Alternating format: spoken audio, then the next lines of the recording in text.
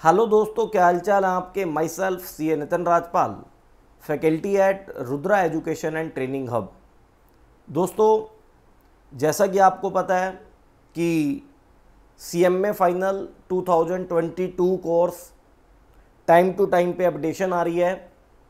And इससे related कोई भी अपडेट आती है तो मैं आपको ज़रूर प्रोवाइड करूँगा अपने यूट्यूब चैनल पे। तो यस दोस्तों, एक छोटी सी अपडेट है और बहुत बड़ी है। कि सी एम इंस्टीट्यूट ने जो न्यू कोर्स है, उसके जो सब्जेक्ट हैं, उसके जो पेपर हैं, उसका कंटेंट रिलीज्ड कर दिया है कि किस सब्जेक्ट में कौन कौन सा टॉपिक आपको पढ़ना है और क्या उसकी वेटेज रहेगी। आइए चला मैं, आइए मैं आपको इंस्टीट्यूट की साइट पे लेके चलता हूँ पहले दोस्तों। हम चलते हैं इंस्टीट्यूट की साइट पे। और जब आप इंस्टीट्यूट की साइट पे जाएँगे तो स्टूडेंट सेक्शन में आपको जाना है, कोर्स के अंदर जाना है दोस्तों। देन आप 2022 कोर्स को क्लिक करेंगे। उसके अंदर आपको देखने को मिलेगा दोस्तों C M A curriculum study material profile C M A prospectus C M A syllabus full version इसके बाद जब आप कैरिकुलम पे क्लिक करेंगे तो इंट्रोडक्शन पेज और सी एम ए सिलेबस की फीचर्स भी आपको देखने को मिलेंगी और की फीचर्स के बाद बहुत सारे हेडिंग हैं। मैं एक बार आपको जैसे फाउंडेशन कोर्स है इंटरमीडिएट कोर्स है फाइनल कोर्स है। मैं आपको जैसे फाइनल कोर्स पे लेके चलता हूँ। उसके अंदर पेपर नंबर चौदह है दोस्तों स्ट्रेटेजिक फाइनेंशियल मैनेजमेंट उसके अंदर लेके चलता हूँ। जब हम पहले इसके ऊपर क्लिक करते थे तो कंटेंट हमें नहीं दिखता था। लेकिन अब आप ध्यान से अगर देखेंगे तो आपको ईच एंड एवरी पेपर का कंटेंट भी शो होना शुरू हो जाएगा।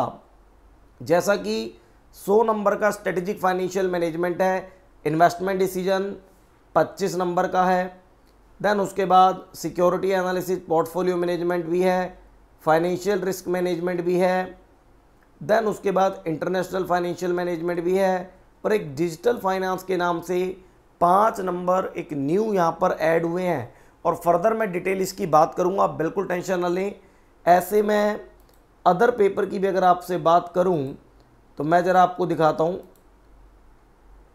एसपीएम और बीवीएम की अगर हम बात करें स्ट्रेटेजिक परफॉर्मेंस मैनेजमेंट 100 मार्क्स का पेपर है। यस दोस्तों, उसके अंदर 50 मार्क्स की एसपीएम है सेम वही 50 मार्क्स का बिज़नेस वैल्यूएशन है।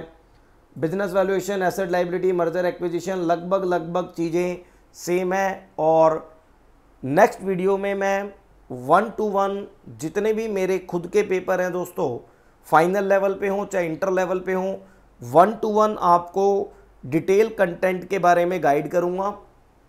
एंड ओल्ड कोर्स और न्यू कोर्स के बीच में कंपैरिजन करूँगा। तो आप हमारे यूट्यूब चैनल पे बने रहिए दोस्तों। मिलते हैं नेक्स्ट वीडियो में। ईच एंड एवरी पेपर की detail analysis and differences in between 2016 and 2022 course मैं आपका दोस्त C Nitin Rajpal. Tata bye bye